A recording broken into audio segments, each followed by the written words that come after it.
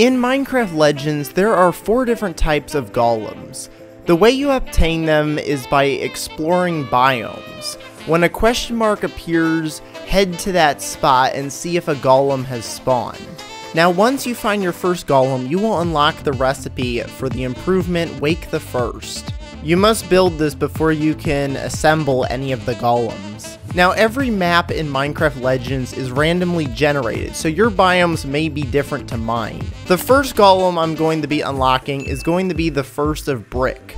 It can be found in the dry savanna biome. The second golem I'm going to be unlocking is the first of stone, and this one can be found in the meadow biome. The third golem is going to be the first of diorite. This one can be found in the jagged peaks. And the final golem is going to be the first of oak. This one can be found in the Badlands biome.